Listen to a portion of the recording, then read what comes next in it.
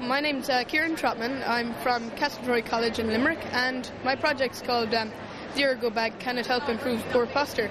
Um, I'm in first year now, and I just noticed that school bags were much heavier than they had previously done in primary school.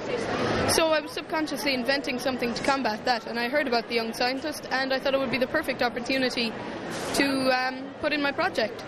Um, the bag works relatively simple. If you have six kilograms of books, you'd put three in the front and three in the back to balance your body off. And also, the weight's actually closer to your body, so that it doesn't. Um, the weight's closer to your body, so it doesn't put as much strain on your fulcrum.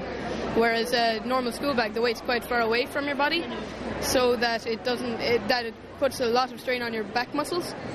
Um, with the ergo bag, um, I tested. I tested um, using an electromyogram and photographs. And with the photographs, I found that you can carry 12 kilograms in the ergo bag. That would be 6 kilos in the front and 6 kilos in the back. And your posture is actually better than it would do with 2 kilograms in a standard backpack. And that reduces, uh, you stand much straighter with it. And that reduces the possibilities of lumbar spine pressure, and therefore your posture is better, so there's less chance of chronic back pain.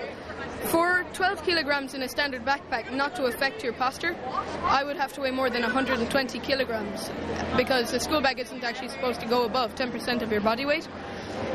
Whereas with the ergo bag, I haven't actually done figures, but it improves your posture significantly. And I did um, something called the total inclination.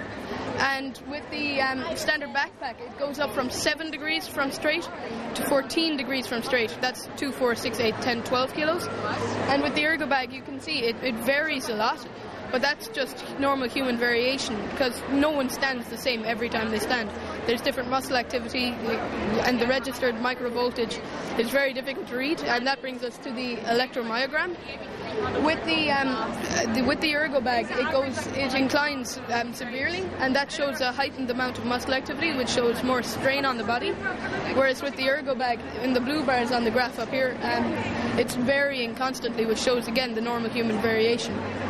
Tre- Trevor Sargent was at my stand on Wednesday, and um, he said that he'd recommend the ergo bag to Paul Gogarty, which would be very good because Paul Gogarty is the um, um, education spokesperson for um, in for the Green Party. So that that's very very supportive for the project if there's political interest.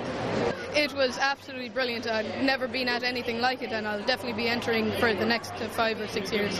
The judges, um, their interest was brilliant, and it really made me enjoy the um, exhibition. And um, it just the, the support that I've gotten um, is absolutely brilliant. There's been a lot of media attention, political interest, which was um, brilliant, and um, the judges loved the project, which was very, very, very good.